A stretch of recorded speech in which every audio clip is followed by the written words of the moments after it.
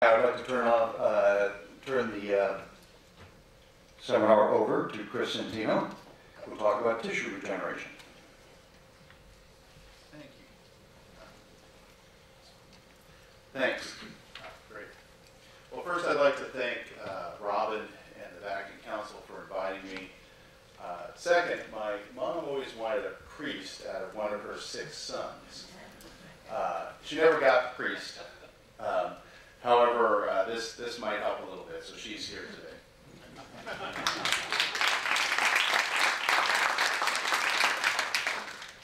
So, uh, I'd like to talk to you about adult stem cells for knee arthritis. Now, this type of presentation is a little bit different in that we'll be looking at the whole presentation and zooming in to various parts. Uh, you may need a little Dramamine before we're all done, but this is uh, the totality of my presentation, where I'm, where I'm from, having a problem is knee arthritis, where do we harvest stem cells, uh, what do we do to stem cells in the lab, how do we get them back into the patient, what are the results, and then some conclusions. So let's start with, with where I'm from. Uh, I actually, obviously, as you can probably tell based on my American English, uh, are uh, from here. And uh, my clinic is in Colorado. Uh, we also have uh, sites in uh, the U.S., other sites that we license to, China, and South America. So not just Colorado.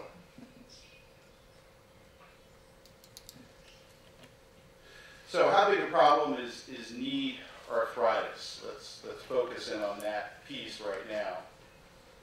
Well, it's a very, very big problem in the U.S. certainly, and I'm sure it's the same elsewhere. Uh, if you have a normal healthy weight, you have about a third, uh, one-third chance of getting arthritis. Uh, if you're overweight, slightly more. If you're obese, uh, almost half will get arthritis. So a very big societal problem. Uh, women tend to get more arthritis than men, uh, and not two to one, but significantly more. So we've got a very big problem, and if you look at the U.S., uh, just in this one year, 2005, there were over 500,000 knee replacement surgeries that cost the United States about $11 billion. So a lot of money, a lot of surgery going on. And if we look at uh, just the elderly population in the U.S., uh, that those number of surgeries roughly doubled between 2000 and 2008. And in 2008, uh, just in the Medicare population, so again, just the elderly, there were 17,500 serious complications, and 5,000 of those were the ultimate life-changing complication, death due to surgery. So this is not just sort of going into uh, the body shop to get a piece replaced. It, it, does have serious consequences if it doesn't go uh, the right way. So there's certainly an opportunity, if it's possible, to replace this uh, type of technology. So where do we harvest stem cells? Uh, there are many places, as you've heard today, that you can get stem cells. You can get stem cells from adipose tissue. You can get them from almost every tissue in the body. One of the places where we derive them for our purpose is bone marrow. And you've probably heard a little bit about that today. Uh, it's back in here at what's called the PSIS, uh, the dimples of Venus at the back of the hip, where we get those cells. And if we zoom in on that area, the procedure looks something like this. Uh, a patient comes in, we prep the patient, uh, we place basically what looks like a thick needle called a trocar into the area that goes through the bone. Most people think of bone like cement. It's really more like hard plastic. You can actually work something through it. And we then draw out uh, a fluid, or what looks like thick blood, and within that thick blood lives mesenchymal stem cells. Uh, they look a little bit like this. This is sort of a colorized electron micrograph of what they look like.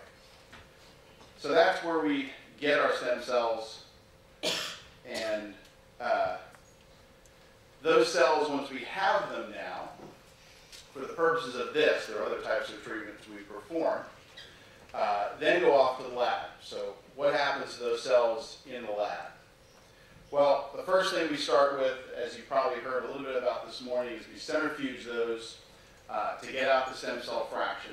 So there are lots of uh, cells in that fraction, and a centrifuge looks something like that. This, the fraction that has the stem cells is called the buffy coat. Uh, and then that's placed in, into some specialized plastic flasks. So this is sort of a diagram of what that looks like. You've got bone marrow uh, cells in there, and you've got stem cells uh, in there. You then, or we then, incubate those. And an incubator, as you've heard, is nothing more than a place that replicates the growing conditions of the body. So an incubator looks something like that. The cells go inside there. The cells we want are called MSCs or mesenchymal stem cells. They'll stick to the plastic flask, whereas the other cells won't. They'll just float around.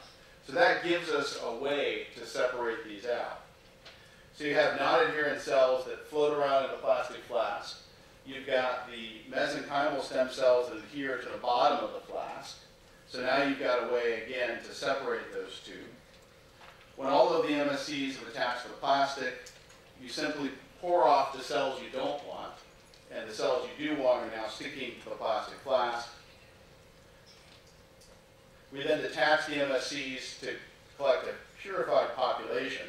So you can take the MSCs that are attached to the flask, you can add a common enzyme trypsin to get those off, and then pour out the ones you do want.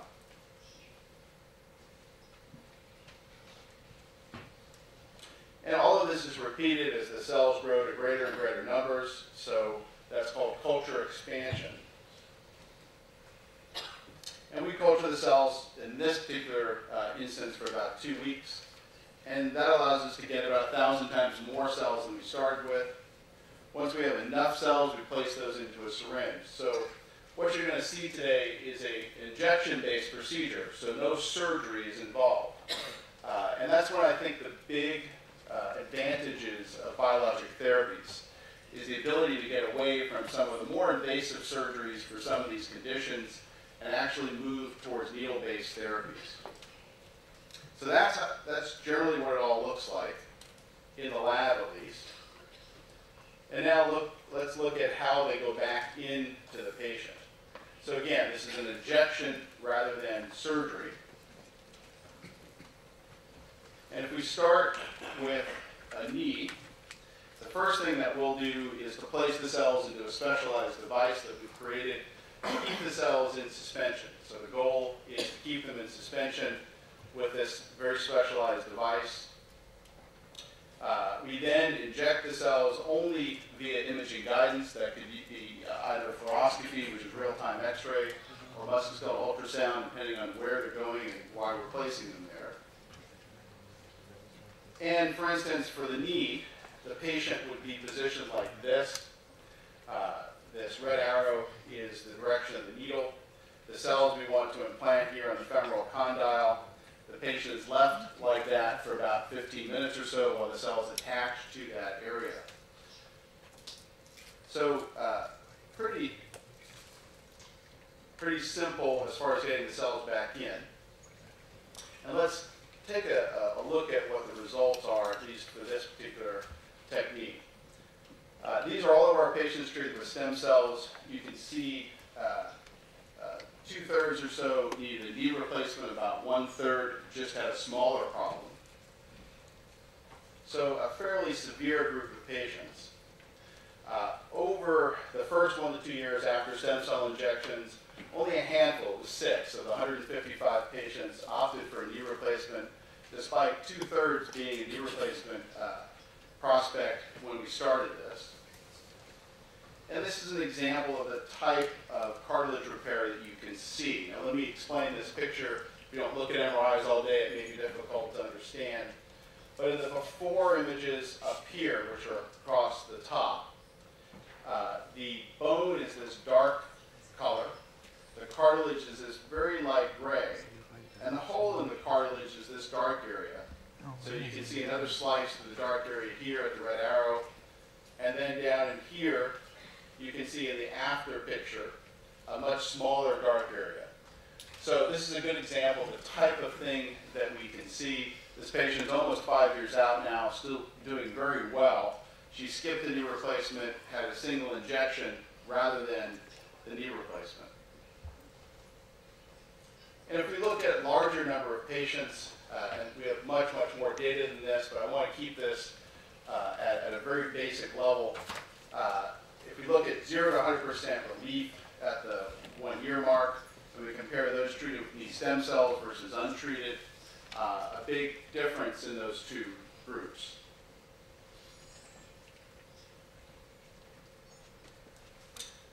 So I will wrap it up and get to some conclusions. Uh, This is a promising investigational therapy for knee arthritis.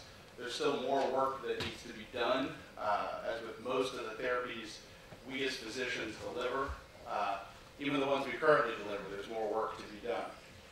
Uh, But again, I think it has the potential to allow patients who need uh, knee replacements, hip replacements, to avoid those, at least some of those patients, by getting an injection of their own stem cells rather than having to undergo these more invasive procedures. So I'll then move to questions. Thank you.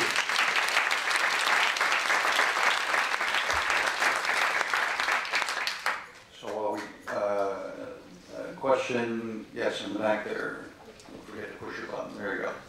Uh, great presentation, thank you for that. Um, these mesenchymal stem cells that you're using are known for the tri-lineage potential, one of them being chondrocytes. So we've heard a lot of information here about the paracrine effects of these cells. Is this one of the rare instances where they actually undergo transdifferentiation and replace the damaged cartilage? Do you have any evidence that that's what they're doing? It's a good, uh, it's a very good, oh, can I push it again? Sorry. Uh, it's a very good question. Uh, There are literally about 500 published studies right now on mesenchymal stem cells and cartilage repair. And not even those 500 studies, I think, have answered that question definitively. I would say that there's probably a little bit of both in this instance. There's probably paracrine effect, there's probably some differentiation. Uh, The upside and the downside of this is it's an autologous therapy. And one of the problems of using your own cells is that it's not like a drug, meaning that this is a drug that's only as good as the patient it was taken from. So I suspect in some patients you would see more differentiation, in others more paracrine effect. Question? Yes. Excellent presentation, Chris.